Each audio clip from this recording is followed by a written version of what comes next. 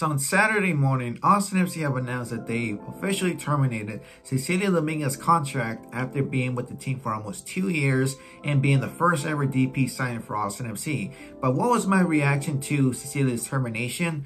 My honest reaction was simply this. I didn't show any emotion to it. I was happy about it, but mostly no emotion because it had to happen no matter what. Cecilio Dominguez was the type of player we all thought he was going to fulfill his expectations in his first year, but it sadly never happened. He was mostly a problematic drama queen player, only scored 7 goals in 34 matches. The one important thing he did provide for that first year was he was the first player to score 2 goals in one game in that historic win against Colorado Rapids as Austin FC beat them 3-1. But aside of that, from experience of watching the Mexican League, Cecilio Dominguez used to play for Mexican team Club America. I have a friend who supports Club America, and I asked him this question before the 2021 season started. I asked him, so what were your thoughts about Cecilio being with America? And my friend simply answered this question by saying this. He was a problematic player and he never showed up in crucial matches. At first, I didn't believe my friend because it was still early in the year, but as soon 2021 came around, my friend was right. Cecilio never showed up to those crucial games, never fulfilled his destiny of being the key DP player we want him to be. And all he did was argue with the ref, do a lot of diving, and commit so many, so many fouls, unnecessary fouls, I would say. Excuse me. And we all thought, is he going to be the same player in 2022? Because others would say, I would argue too that Cecilio was trying his best to adapt to the MLS since before joining Austin FC, he used to play in Paraguay. And that's, you know, a whole different meaning, whole different league and a whole different system. And comes around 2022, we saw a whole different Cecilio Dominguez in one game, and that was in the first home game for Austin FC. Cecilio Dominguez provided two goals in the final win against FC Cincinnati, and that game itself gave Cecilio man of the match. And all of us thought about this. Cecilio looks like he's serious this time. He's mature, and he's going to be a key role model to the whole entire team in the midfield and also as a forward. Enter Miami game, he did okay, did decent, but he kind of showed his drama queen a bit. But came to two crucial matches for Austin FC. Two key games to show to the league that we were serious and that we were a whole different team. Those key games were against Portland Timbers and Seattle Sounders.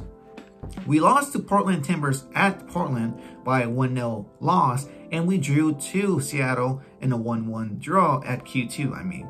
But in those two games, Cecilio mostly showed arguing with the ref and did a lot of diving, like he was practicing for the Olympics.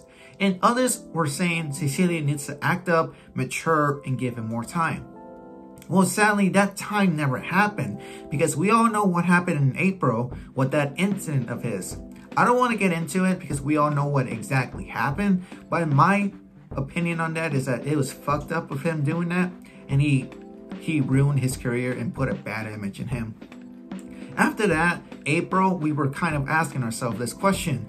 Are we going to be a better team without Cecilio? And are we going to be different? I mean, obviously the same question to the first I just said. And the answer is yes. Austin FC is in fact a different team without Cecilio Dominguez.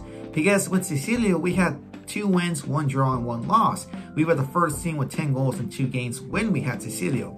But after Cecilio Dominguez left, we kind of looked in shambles. We were trying to adapt the wolf ball system. But after April being the first month, Austin FC went undefeated for the first time in club history, we looked different.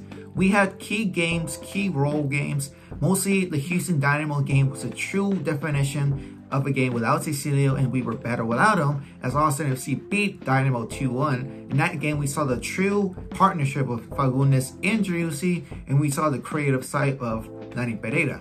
Then comes May, we were totally miserable. We got a win against LAFC, but LA Galaxy, we got two losses against them and one draw. One crucial draw against Orlando City and a loss to Real Salt Lake. And that's what that was the same question being asked in the month of May. Do we need Cecilio? Do we need a staff? Are we better without him? We're not better. Are we not better without? You know, it was a countless, endless cycle of that same question. But throughout June till now, July to almost August, Austin FC is fighting for the shield. Austin FC is doing back and forth with LAFC with first and second place. Driussi is fighting for Golden Boots and MLS MVP, and he is now an all-star player. The solution to this, Cecilio Dominguez was the problem. If Cecilio was still with Austin FC, none of this stuff would happen. We would be probably in the ninth place, 10th place, probably not even dead last, but we'd be like around 14 to 15 place. But you get the idea. Cecilio Dominguez was in fact the problem to Austin FC, and him leaving, our team is mentally better without him and physically better without Cecilio. And that leads a better future to Austin FC too, as Austin FC is about to sign future star player Emiliano Rigoni from Sao Paulo because Rigoni was 99% ready to join Austin FC, but the 1%, it was Cecilio holding him back. So now with him gone and joining probably Club Santos Laguna, Rigoni will now join Austin FC. But yeah, you guys, that's my full reaction. I was kind of not showing emotion to Cecilio leaving because we all know what's going to happen. But finally, good riddance a huge sigh of relief for Austin FC. and I hope we have a better future and better year without. Well, next year, but you get the point. Anyways, you guys, the name is Vanilla Mexican 17. I'll be back here with probably a reaction video, but for the meantime, stay hydrated, and I'll catch you guys on the next one.